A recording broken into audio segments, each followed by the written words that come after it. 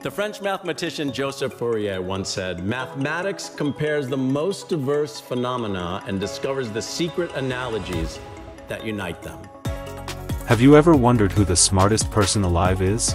While names like Albert Einstein or Stephen Hawking may spring to mind, today's title belongs to Terence Tao, a real-life genius with an incredible IQ of 230. Often called the Mozart of mathematics, Tao has amazed the world with his brilliance and humble personality. Born in Adelaide, Australia, Tao showed extraordinary intelligence from early childhood.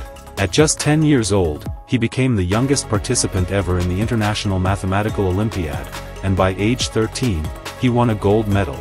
At 14, Tao had already mastered subjects like quantum mechanics and mathematical physics.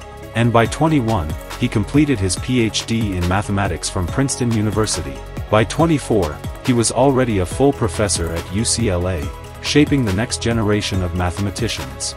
His groundbreaking research earned him the Fields Medal, often called the Nobel Prize of Mathematics, when he was just 31 years old.